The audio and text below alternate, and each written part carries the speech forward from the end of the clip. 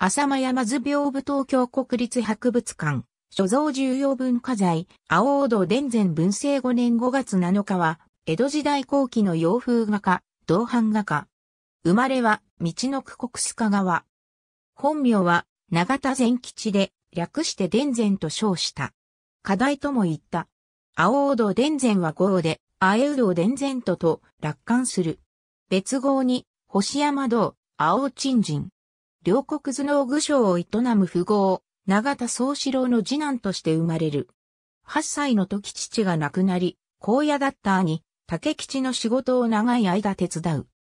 兄は画号を持つ程度に絵心があり、伝前は家業の傍ら、兄から絵を習い、法暦12年15歳の時、描いた絵馬、源の頼近、水気の図を地元の小寺山白山寺に奉納している。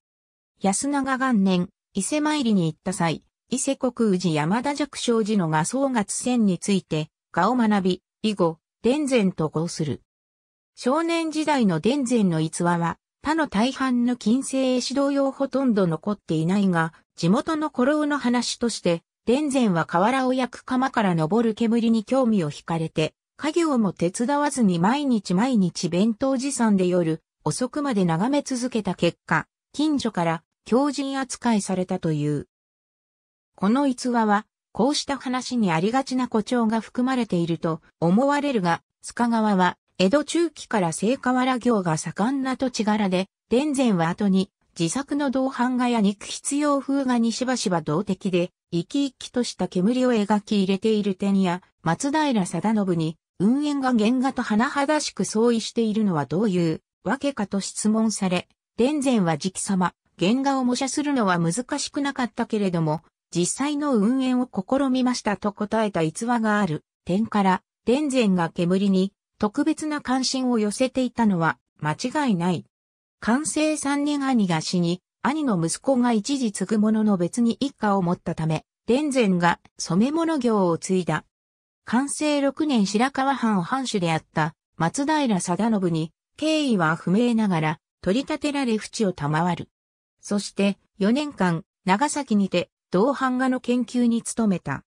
長田由緒書や大観雑記では定信が領地巡回の折須賀川に昼食ため立ち寄った居室に伝前が描いた江戸芝愛宕山図屏風に目を留めて呼び寄せたという。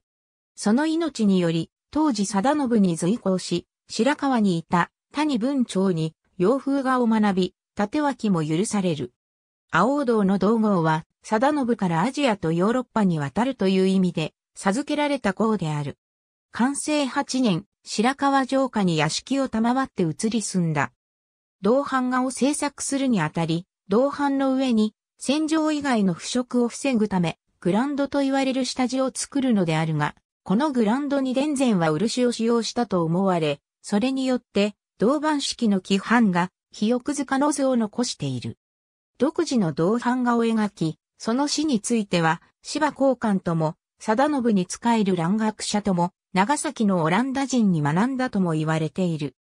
交換は、性格が鈍重で飲み込みが遅いとして、伝前を破門したが、後に伝前の方が、銅版画の技術は上だと評価し、退けたことを後悔したという逸話が残る。文化13年、貞信の子、松平定長が桑名に違法されたのを機に、御用絵師を自主徴絵師に戻る。銅版画制作を続けようとしたようだが、エッチングに必要な銅版や賞賛が以前ほど手に入らないため、所有の銅版を地元の商人に譲り、これで洗面や剣布、服素などにすって土産物として売り出した。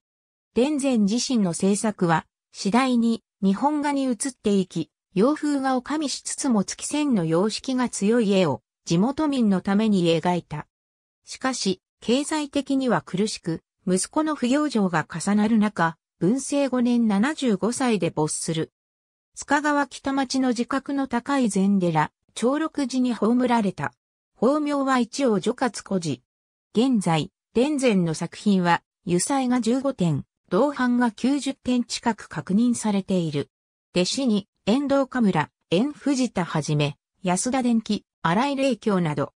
その洋風表現は、葛飾北斎や歌川国吉らの浮世絵にも影響を与えた。新定版国前図文化7年浅間山図屏風は、資本。用心引くまずは、板絵の絵馬。それ以外は憲本。ありがとうございます。